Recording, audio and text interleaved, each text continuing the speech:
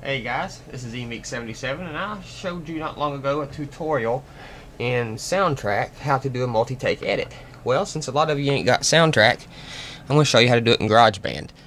So uh, the first thing you want to do is add you a blank track like here and enable your recording button right here. Then go down here and turn on your loop and you'll get this little yellow line up here and you can move it around and make it bigger and smaller and this is the part of the video that's going to loop over and over. So put your playhead at the beginning of your loop segment and hit the record button and start talking and make different takes each time it goes it loops back around. So we can take different parts of each take. So I'm gonna speak a few things and um, then I'll show you how it works. PCs suck.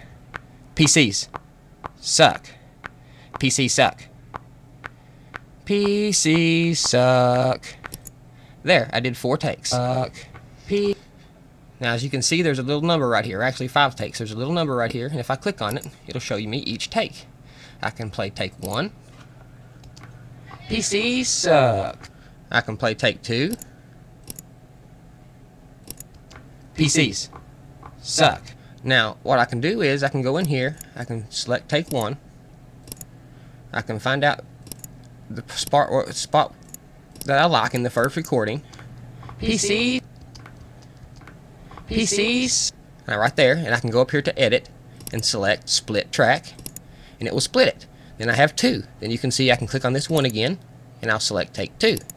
And this will put take two, and I can split it as many times as I want and use as many different takes as I want. Now see I got one track from take one and take two. PCs suck. See? That's from track one and track two put together into one track. So I hope this has helped you guys. If you have any questions, get a hold of me at uh, FinalCutStudioSchool.com. Otherwise, right here at emeek77 on YouTube. So uh, I hope you guys have learned something. We'll see you next time.